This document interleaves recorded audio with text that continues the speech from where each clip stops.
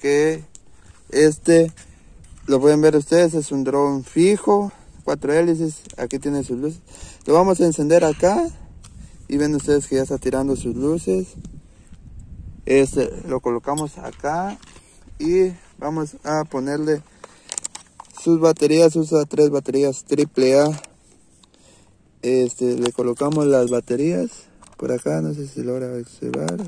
Ponemos las baterías ahí, le, ponemos su tapa y bueno, para configurar este dron lo que necesitamos es encender acá nuestro botón de acá que la luz ya esté parpadeando y hacer estos dos.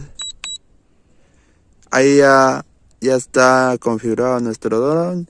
Ahorita lo van a le van a tomar el momento del despegue